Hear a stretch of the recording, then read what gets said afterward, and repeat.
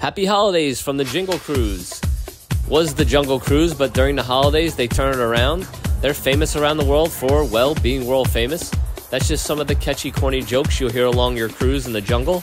And here's a wall full of some of the famous, or should I say infamous, tour guides.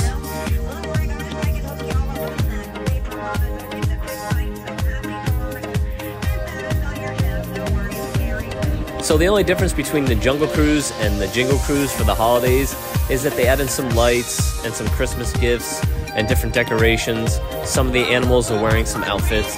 It is also one of the only rides with a Christmas overlay with regular park admission.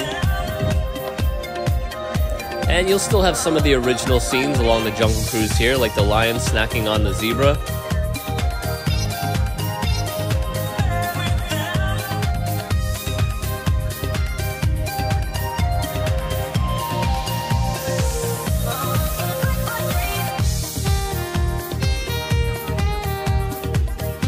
And up ahead here, you can see these guys are in a bit of trouble.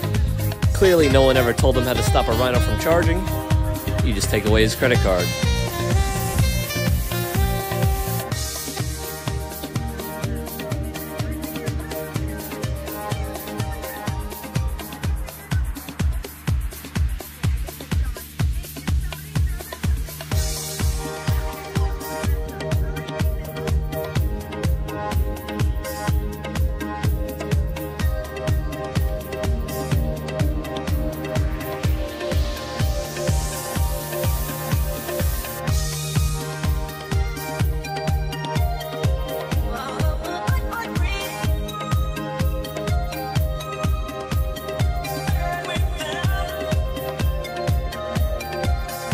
And now we've cruised into a pack of pachyderms.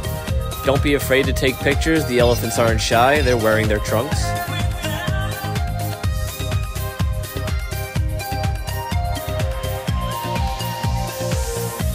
And here it is, the moment you've all been waiting for, the eighth wonder of the world.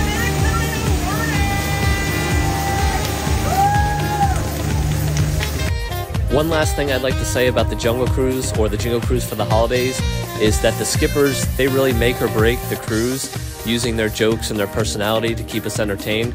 So big shout out to all the skippers out there working hard on the Jungle Cruise.